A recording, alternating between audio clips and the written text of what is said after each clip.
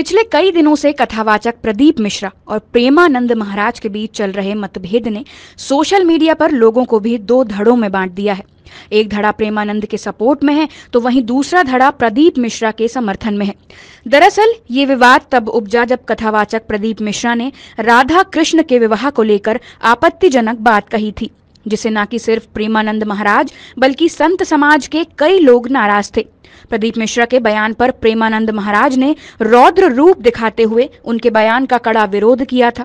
उन्होंने कहा कि कोई भी हो हमारी किशोरी जी के बारे में होश में बोलना, क्योंकि वह हमारी जीवन है, हमारा सर्वस्व है। श्री राधा रानी वो हैं जिनकी चरण रज को ब्रह्मा, शिव, शुक, सनकादि भी प्रणाम करते हैं। इसी बीच सोशल मीडिया पर एक दावा भी किया गया, जिसमें दोनों कथावाचकों के बीच मध्य प्रदेश सरकार में कैबिनेट मंत्री कैलाश विजय वर्गीय सुलह की बात सामने आई।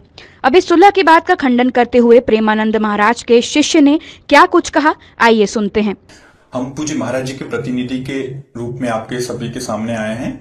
पिछले कुछ दिनों से एक न्यूज़ बहुत ही वायरल हो रहा था कि कैलाश विजय वर्गीय जो मध्य प्रदेश सरकार के मंत्री हैं, उन्होंने प्रदीप मिश्रा और पूज्य महाराज जी के बीच में सुलह करा दी है। हम आपको ये पुष्टि करना चाहते हैं कि ऐसी कोई भी फ़ोन कॉल प्रदीप मिश्रा या मंत्री जी की तरफ़ से हमारे पास नहीं आया है और ना ही दोनों के बीच में कोई किसी भी प्रकार की सुलह हुई है।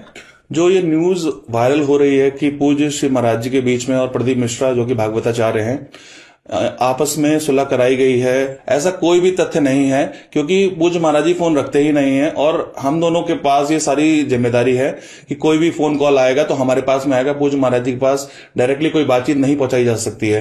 तो ये जो न्यूज़ वायरल हो रही है, इसका कोई तथ्य नहीं है। तो आपसे प्रार्थना है, आप समस्त ब्रजवासी परिकर से, समस्त श्रोतागणों से प्रार्थना है, ये बताना चाहते हैं कि इस न्यूज़ का जो कि वायरल बहुत ज़्यादा हो रही है, हमारे पास भी बहुत सारे फ़ोन कॉल्स आ रहे हैं, बहुत सारे न्यूज़ वालों से भी हमारी बातचीत बातचीत हुई इस विषय में किसी भी प्रकार का कोई भी सुलहनामा नहीं हुआ है तो हम आपको ये बताना चाहते हैं। इसमें पत्रिका जी न्यूज़ इंडिया और जनसत्ता न्यूज़पेपर ने हमसे संपर्क किया था हमने उनको बताया भी था। उन्होंने अपने न्यूज़ चैनल्स पे और वेबसाइट्स पे इसका खंडन किया था कि ये फेक न्यूज़ है एकदम। टीम लोकमंगल।